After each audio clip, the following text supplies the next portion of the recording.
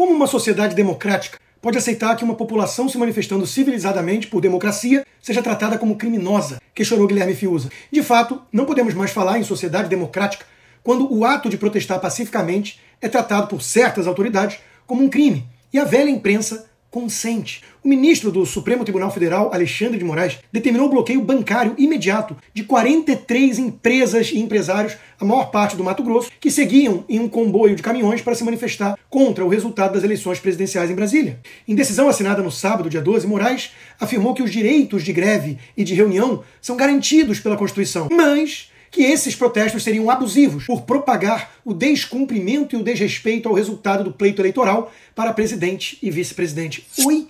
Além do bloqueio das contas bancárias, o ministro determinou também que os representantes das empresas e empresários citados sejam ouvidos pela Polícia Federal em até 10 dias. Moraes não liga mais para nada. Parece alguém totalmente descontrolado. A omissão covarde e cúmplice do Senado sob a liderança do pusilânime Rodrigo Pacheco, além dos aplausos de uma mídia corrupta, tem feito com que Moraes dobre a aposta a cada dia. É assustador ver o que está acontecendo em nosso país, gente. A escalada autoritária é impressionante. Se esse curso não for logo interrompido, poderá ser tarde demais. E veja, não vai ser nenhum alarmismo vislumbrar um futuro venezuelano para o Brasil.